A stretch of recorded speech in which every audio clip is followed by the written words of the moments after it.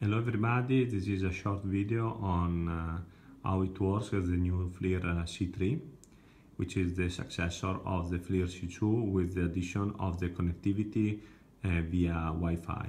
The Wi-Fi can be both peer-to-peer -peer or connected to the uh, Wi-Fi and hotspot and then connect uh, in another way. In the last part we will show you how to connect the phone to the Wi-Fi of the C3. So the C3 is, uh, as we said, is a touchscreen and we can start from the right side where we have the setting. In the setting we can go to setup parameter, we can set up uh, emissivity, reflected temperature and distance. Save option, we can see if you, you can save the thermal image from the uh, photo image or have a single file. Device setting, we have language, time units, the Wi-Fi, reset option, auto orientation, power off, display intensity, camera information, and the legal uh, information. We'll go back to the Wi-Fi later. Then we have the possibility to uh, start the light or flash so the light will be always on and the flash will be when you click and save the picture. You have different uh, palette of color, iron, rainbow, rainbow high contrast, and gray scale. Oh, by the way, this is our aircon uh, splitter. Here.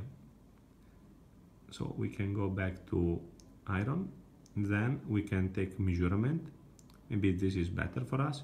So this is the trigger with the hot uh, with the cold spot which goes straight to the splitter 18 degree. Same for the hot spot. We can remove measurement.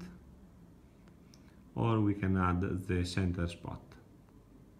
Center spot as always in this moment we are using the automatic scale but uh, tapping on the scale you can uh, block the temperature and regulate in order to avoid external component to influence in your measurement. By clicking back, you go back to automatic. Here you can set up uh, uh, the MSX where you can adjust the distance. You can have thermal only, so just check the difference between thermal only and MSX. Wow, then you have picture in picture. And digital camera only. At the end we have images. There is no image saved but here you will find all the image.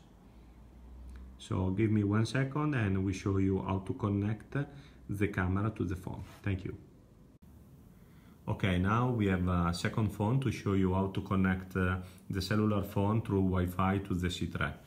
So as we saw before, we go to the setting, we go to device setting, Wi-Fi, and share.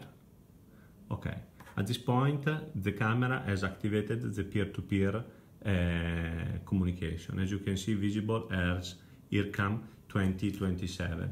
So now moving to the phone, we go out. And what we want to do is uh, we want to check for the earcam okay so now we are connected to the earcam we go out. We connect FLIR tools and here we, you can download the image from the camera or take a picture if let's say you take a picture so Okay, so let's say we go back to what uh, we were seeing before. Okay, so we have this. As soon as we click instantanea or picture, the unit take a picture of the of the selected. So then we can go back, we can go back, library, picture, and here as you can see you can uh, see the picture again.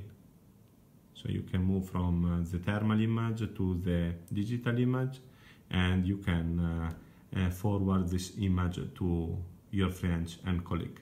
So for now is everything. Thank you very much. Like the video and see you next time. Bye.